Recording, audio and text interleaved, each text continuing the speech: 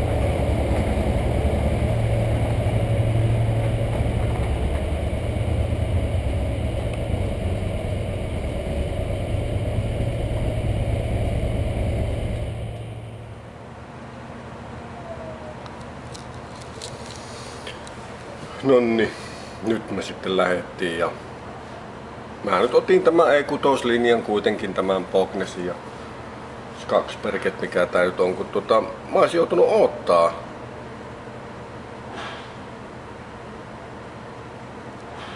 niin pitkään sitä toista laivaa.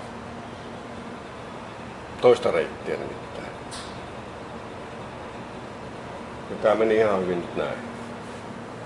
Katsotaan mitä täällä tulee. Täältä äsken näytti säätelää temperatuureja, niin tänään aurinko 7 Narvik ja huomenna vesisaetta. Se tulee tämän jälkeen. Että huomenna sitten, kun en heti aamusta alkaa satamaan, että hyvinhän tässä keliä on ollut siis kerrassaan, niin herralle kiitos. Ainut on tuuli tietenkin ollut, mutta se nyt on ollut myötäinen pääasiassa aika pitkään.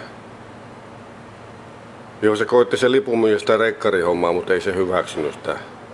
Mulla on niin vanha rekkari tietenkin CH610. Tässä.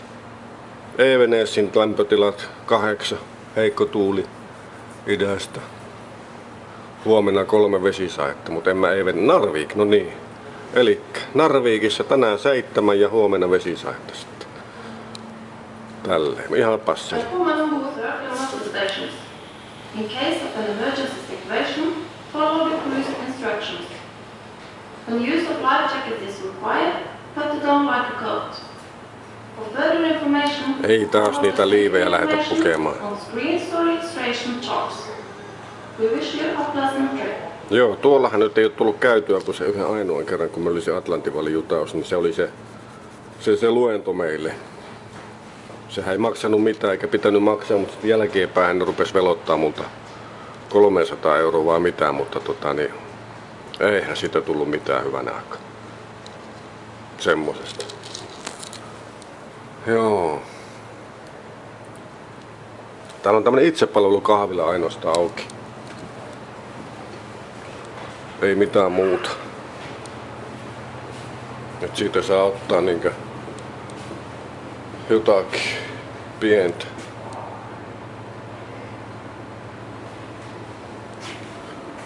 Pizzapalaa tai kaltsonnea voi lämmittää tuossa noin. Täällä on tämmösiä namuja sitten itsepalvelu. Tuossa on kameravahti. No ei minä mitään ottais, vaikka ei olisi mitään vahtiakaan. Vaikka olisi 15 myyjää, niin ei tässä ole mitään mulle. Ei ole mitään mulle. Lähdetäänpäs tonne kannelle kuvaamaan nyt kun näyttää, että tässähän tulee maisemia pian.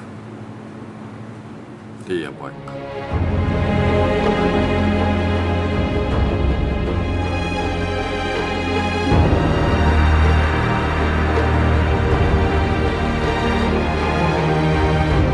No olihan täällä muutama auto enemmän.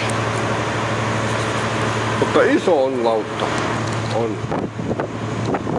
Iso on.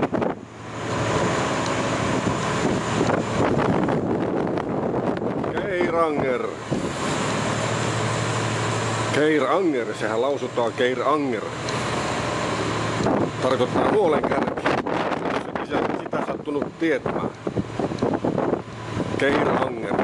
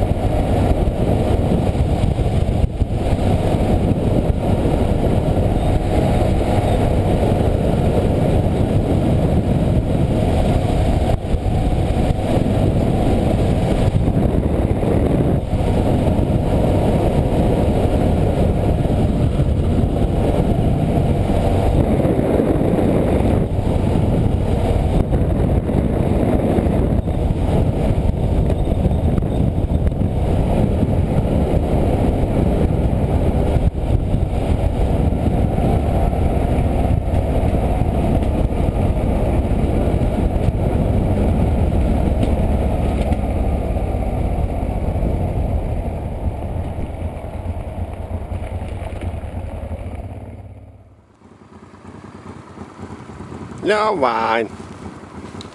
Mutta minä lähden tekemään ruuan. Nyt maistuu joku soijan riisipata. Ja sotilasnäkkileipä. Vaikkapa vaikka. Joo. Tuli syötyä hyvin ja Kuinka ollakaan, niin tulee elävästi mieleen se mun ensimmäinen moottoripyöräreissu sillä XLV, ei kun XL 500 Rllä, yksipyttysellä, 500 punaisella, jolla teinkin 13 Norjan reissua, niin se ensimmäinen reissu, kun oli silleen, kun se oli vieraspyörä, en luottanut siihen täysin, niin kun ei ollut tullut, tullut vielä, niin vein sen Toyota Hiluksilla tota, niin, Matarengin tulliaseman pihaa ja sanoin, että kyllä tämä auto varmaan voi olla tässä viikonpäivät, että joo, kyllä voi olla. Ja otin lavalta pyörän ja ajoin sitten yhtä kyytiä Narviikkiin kylän toiselle puolelle, kun nyt ollaan. Ja tuota, niin siellä on sitten myös semmoinen hieno riippusilta, varmaan kaikki tietää sen, kun Suomesta tullaan, niin sehän näkyy siellä heti niin kuin kello 10 suunnassa niin sanotusti, niin sinne meni sillan kupeelle vaan sitten telttaa pystyttää ja jotenkin oli just tämmönen ilma, keli. Syksyhän se oli ja mut silti lämmin. Ja se hämmästytti, miten voi olla. Miten voi olla Norjan vuonolla lämmintä syyskuun lopulla. Ja tuli siellä varmaan matkalla vettäkin sitten, kun lähin ajamaan. En muista, mutta hakkasin ja varmaan sen apiskon välillä tuli vettä useammankin. Mutta näin, jatketaanpa matkaa sitten ja mennään Narvikin kirkolle kysymään, että minkälaisia majoituksia löytyisi tai lähinnä, että minkä aikaa se aamiainen olisi.